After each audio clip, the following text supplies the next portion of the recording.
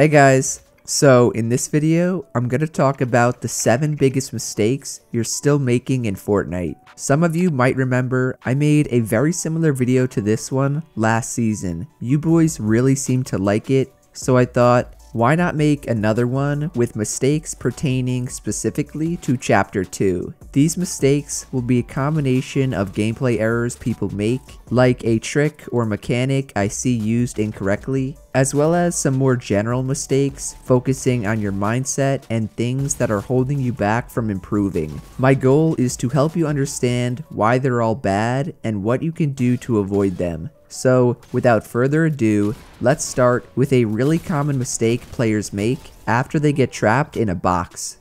Now, the last common mistakes video I made addressed how most people were placing traps inefficiently. Your first instinct is to always place them on your side walls, but the right way is to place them on your roof so your opponent cannot run to the opposite side of your box and avoid the damage. Great, most of you guys knew that though. The new big mistake is when you're the person inside the box with your opponent's trap on the roof. What way too many people do is try to break out the side or shoot through the ramp, which will do nothing against a good player. What you need to start doing instead is immediately look down and edit out the floor. This will drop you below as soon as the edit goes through and will prevent you from taking any trap damage. But Jerian, what if it's not my floor? Well, in like 98% of situations where you're the person getting trapped, that floor will be yours. If it's not, then just break through it. Your opponent likely will not react in time to replace it, and you'll fall down just as fast if you had edited in the first place. So from now on, anytime you're facing another Papa Jerian subscriber who hits you with the roof trap, or even just boxes you up and puts you in an awkward spot, look straight down and edit yourself out to avoid any damage and reset the fight. Second is something I've noticed a lot in Chapter 2, mainly because of the new map. That mistake is pulling your glider too high and getting a really bad landing. The weird thing is that nothing has changed in terms of dropping from the bus. It's still fastest to drop straight down rather than going down on an angle, and your glider will still pull earlier when you're above a mountain than it will when you're over flat land or a river. The only thing that's changed is the map and its terrain. Pretty much every POI is now on a flat level of land and there's not too many big hills or mountains. Even Misty Meadows, which is right next to the biggest mountain on the map, sits at basically the same level as the lake. What you need to do is start dropping a lot further back from wherever you're trying to land. One second too early or too late can make or break your entire match from the start. The good thing is that this is an extremely easy mistake to avoid as long as you actually start paying attention to and adjusting your drop. For the third big mistake, we're going to switch it up to the more general stuff. The fault here is not optimizing your keybinds and or your game settings. This includes not using sprint by default, having all your building binds on one finger, and most recently, not switching to confirm edit on release. It's kind of crazy how many people watch my videos yet still don't follow through on any of my guides that optimize their settings. Even after I explain all the benefits and why changing something around is undeniably better, they don't do it. The main reason for that is straight up because they're scared. They're too scared to be bad for a few weeks that they'd rather stay at the same skill level. The thing is, that is not going to help you improve. Optimizing your gameplay is like taking one step backwards to go two steps forward and staying with your current keybinds and settings is the same as taking 0 steps backwards to go 0 steps forward. There will always be freaks of nature like Bugha or Mr. Savage who have unoptimal keybinds yet still build and edit faster than I ever could. But think about how much better their movement and overall gameplay could be if they went out and optimized them. Those players just don't have the time to switch and relearn everything while still competing each week. Remember though, none of you guys are at that level. A huge part of getting there is to have the best keybinds and the best settings. So please, stop holding yourself back. Trust me on this one and optimize every gameplay option you can as soon as possible. Mistake number 4 is not rotating to zone early enough. This is a mistake I've also been seeing a lot this season, simply because of how little mobility there is on the map.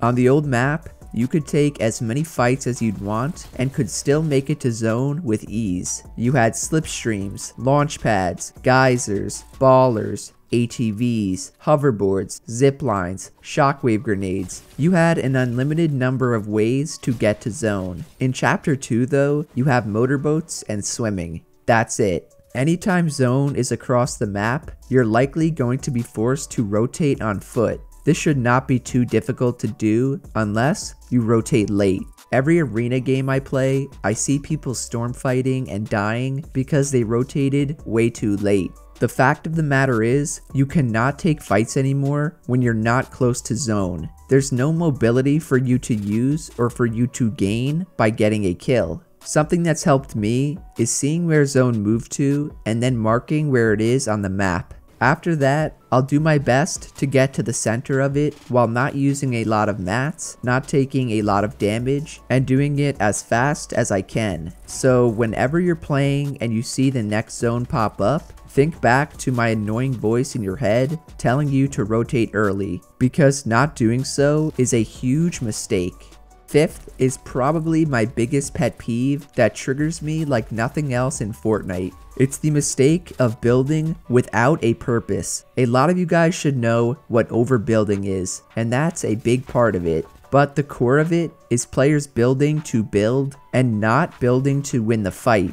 Fortnite is a battle royale at its core, Yes, it has an awesome building and editing component to it, but the whole point of that is to help you kill your opponent and play defensively. I feel like people forget that and only try to get high ground because they see other people want it. The reason people want high ground in the first place is because it's the most advantageous position to be in. But how can you start building with a purpose? The first place has to be in creative. If you're someone who cannot change their playstyle from 1v1s to actual matches, then this applies to you. Start thinking about how you can use certain builds to block your opponent off and catch them off guard. Also, whenever you do get high ground, you need to use it to pressure your opponent. Bugha and Mongraal are perfect examples of doing this the right way. In creative, they try out tons of flashy retakes, but when it comes to actual matches, they're always keeping it simple and building with the intent to kill. Every single piece they place has a purpose, so watch them and do the same.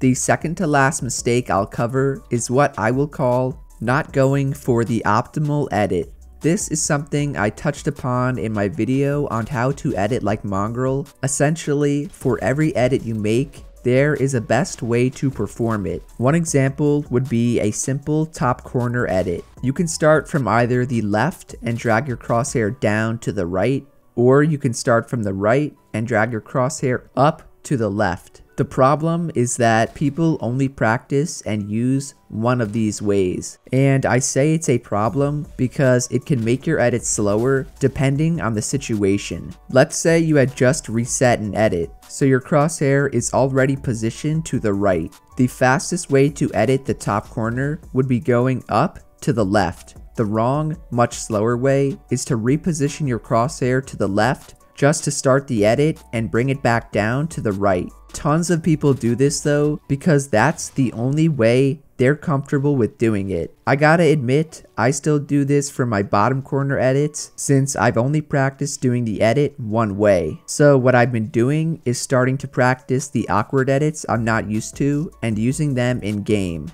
All in all, just make sure you pay attention to how you perform each edit and whether or not it's the most optimal way to do it. The last big mistake I see way too often is people not understanding how the grid system works. The grid system is just the name for the system of squares under the map that allows you to build. It's really not that hard of a concept to grasp, but what can be difficult is correctly using it. The most common example of messing it up is while taking or replacing a wall. If you're too close up to it and you look straight ahead, it will place on the next tile away and not in front of you. This could really screw you up in game and get you killed if you aren't careful. However, if you start to learn the ins and outs of the grid system, you would know to look straight up or straight down as you replace the wall from that distance. So again, be aware of and learn the grid system before you make a mistake that loses you the match. Overall boys, those were 7 of the biggest mistakes I see people making in chapter 2. If this video helped you out, be sure to drop a like, subscribe to the channel, and to turn on post notifications. Thank you to all my homies out there using code Jerian. Remember to message me on Twitter or Instagram for a shout out because those are the first places I check. Otherwise, that's it from me, and I'll see you guys in the next one. Later.